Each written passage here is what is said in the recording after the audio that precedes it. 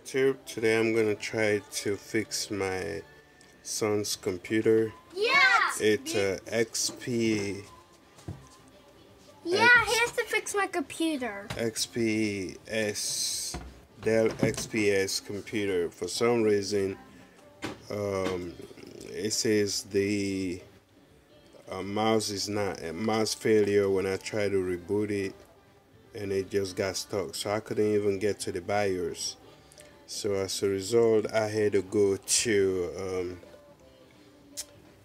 eBay and order a new motherboard um, based on my research, and I found out that is the motherboard that is actually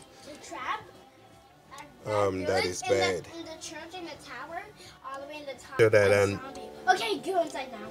When you Tell me to go inside. when you do um, the connection, make sure you record it or take pictures, and make sure that you know which connectors, power cable that connect, and what part to the motherboard is connected to.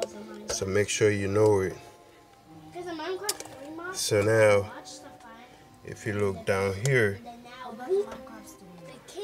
the blue here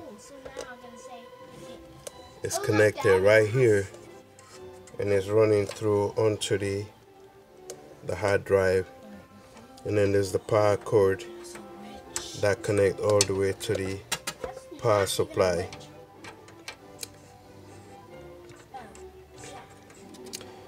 And then the CMOS battery right here so you gotta know all those connections and um, make sure you know that this cable is connected to here which is also power cable that connect to the the chassis. So ensure that all the connectors are done right. Like this one right here and this one goes here. So make sure you know which is which. So this is a black and this is a yellow connector and next to the black there's another connector right here that connects to the motherboard you have a blue skirt. Let's have a blue skirt. make sure you know it is connected there so here I got my tools that I'm gonna use You know what I mean? Even your hand. Sure. It's the beach so just ensure that It's not free. you know which connector so I know two yellow yellow goes here and then blue comes here. Then you got two extra right here. And then you got a black you got here. So it is always advisable to take pictures that will help you when you're doing your final setups. Okay. So now I'm gonna start the process of taking them apart SIM cards. So right here I just want to remove two of them. Right here so now I'm gonna remove the next one. All you need to do you press down the two latches right here and then you press the black out let's press this one too. And then I'm just pulling both of them together by holding them up. So I just see them right here so that's the two sims right there. So now next thing is to unplug that. I can unplug now the CD-ROM too. This is the CD-ROM right here so I'm gonna go ahead and unplug the so basically the hard drive was connected here. It was connected right here so I just remove it and um, this the cord that connect the motherboard to the to your hard drive so I also unplug that. So the next thing is to unplug the motherboard. So this is it. So I'm gonna try to wiggle it out. Okay, so now to remove the power cord, remember there's a little knob right here. So what you do is you have to press it and then pull it. And just be careful so that when you're pulling it you don't pull too hard where it will unplug the whole motherboard the, the socket from the motherboard. So it's something that you just like that and then pull and push the knob like you push down or, or, or push it against like what I'm doing is you pushing it against it like that and then pull it um, so just make sure that you support your your motherboard and ensure that the socket itself don't come off. And then you pull it you know so it's really see so it's gonna come out. Alright, the next thing is to unplug this other switch right here that is also connected into the motherboard. So to reach it I'm gonna do the same thing. There's a little switch right here like a clamp. So you gotta hold it. See this um, chassis is really tight. That you can get into it too um, sorry that you can't really see the action going going on but this is easily how you do to get it out. Um, you just push this little knob right here. You push this little knob right here and then pull it.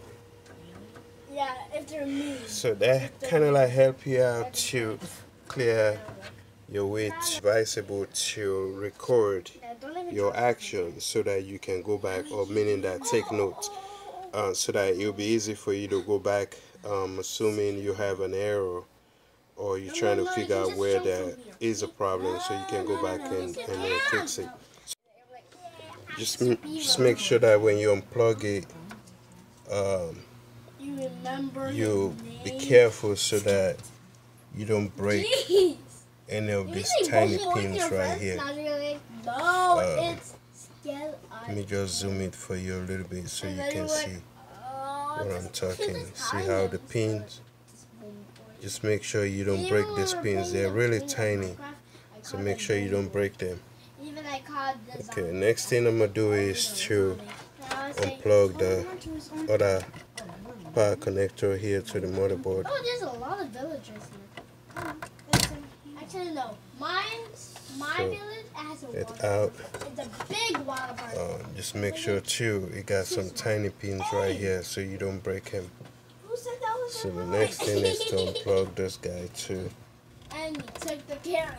One thing. Oh, push him in there. And now he gets stuck forever. Mm. What?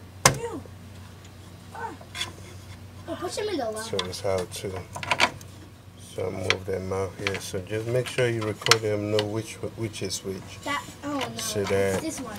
when you come back to plugging them, you know which one goes to which connector. And uh, so what I did was was to pop this thing in order to get the video card out.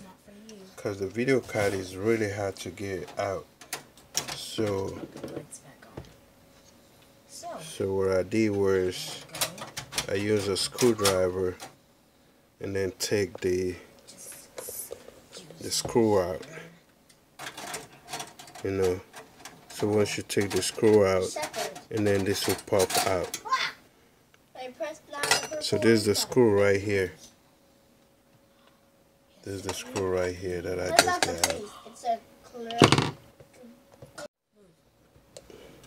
So you need to pop this guy out. Once you pop this guy out, and then the video card will just come out. And then you can put it on the side. You can put it on the side. Yellow can almost get into the motherboard. Um, so now I'm removing if it was just right there and I'm just like, hi. The heatsink in front. This arm would think that's you. Stop it. Majita. Majita. I'm removing the heat Não, sinking Majita. fans. Mas ah? it's just right there. It's right there. Hello. Alright, so now I'm able to get the motherboard out. So I took the CPU out. Um, this is the CPU. Okay, so I'm gonna put it next to the. Check that meeting, please. Um, I just sit it right here. Yeah. Sit it right here.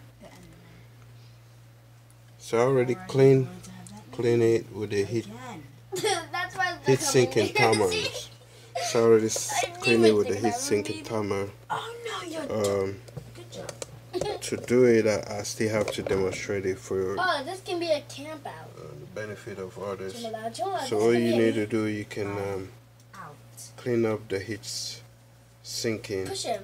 that is already there, Push him. and then you sit it, and then from the heat sinking fan, you also clean up Oh no, he's gonna go to with a clean cloth.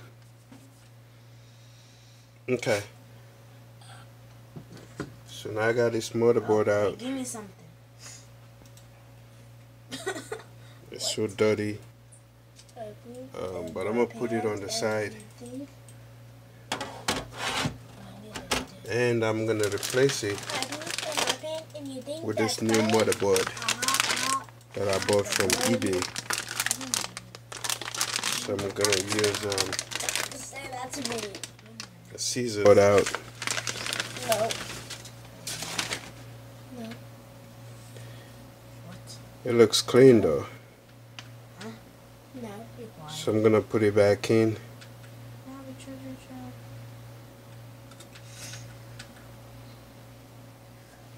And then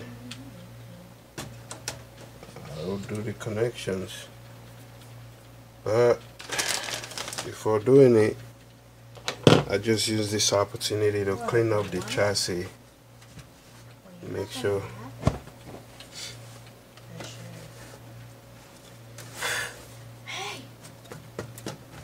Clean up the fan.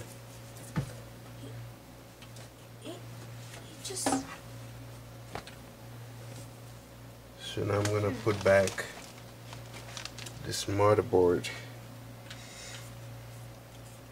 No.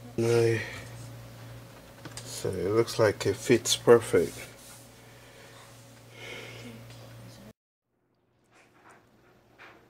So as you can see, it's gonna tell you that um, the video card is unsupported, but just leave it and let the system keep booting, and then for some reason, um, it's gonna perform the job. So as you can see, uh, window is booting up.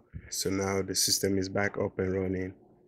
For you to be able to if let's say you have a, a dead motherboard, the first thing you need to do replace the motherboard and if it's giving you hard time to boot, um, ensure that you replace the um, the video card.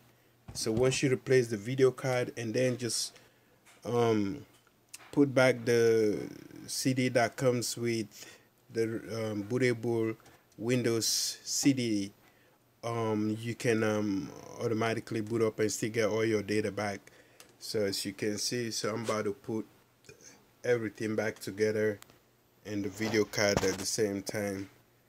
Alright, well thanks again. Um, stay tuned if you like it and um, subscribe and I'll keep you updated for any new thing that I'm gonna do. I'll let you know. Alright, thanks you too.